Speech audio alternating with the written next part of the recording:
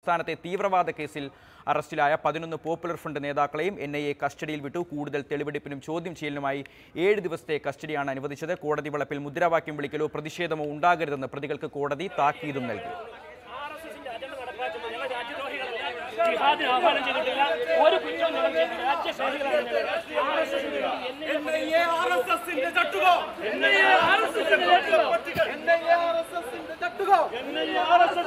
ബിനിൽ തന്നെ വിവരങ്ങളുമായി ചേരുന്നുണ്ട്. ബിനിൽ പ്രധാനമന്ത്രി ഉൾപ്പെടെ വധിക്കാനുള്ള ഗൂഢാലോചന നടത്തി എന്നതൊക്കെ വലിയ ആരോപണങ്ങളാണ് മുന്നോട്ട് കസ്റ്റഡിയിൽ വെച്ചുകൊണ്ടുള്ള തെളിവെടുപ്പ് ചോദ്യം ചെയ്യലൊക്കെ വേണമെന്നാണ് എൻ ഐ എയുടെയും കേന്ദ്ര ഏജൻസികളുടെയും ഒക്കെ ആവശ്യം. എന്തായിരുന്നു ഇന്ന് കോടതിയിൽ നടന്ന വാദപ്രതിവാദങ്ങൾ?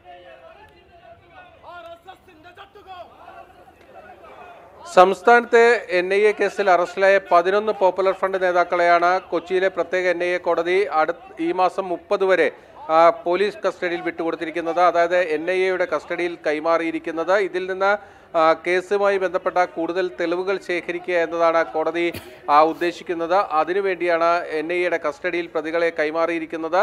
കേസുമായി ബന്ധപ്പെട്ട തെളിവ് ശേഖരണം അടക്കം ഇതുമായി ബന്ധപ്പെട്ട് ഉണ്ടാകുമെന്നും എൻ ഐ എ അറിയിച്ചിട്ടുണ്ട്. ഇതിൽ രണ്ട് പ്രതികളെ ഇനിയും പിടികൂടാനുണ്ട്.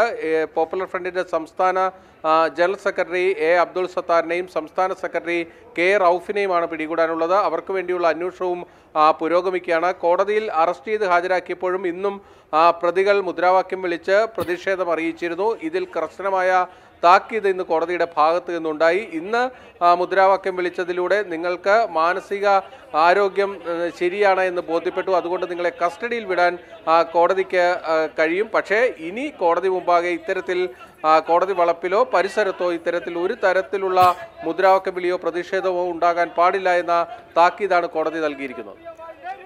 ശരി ബിനിൽ.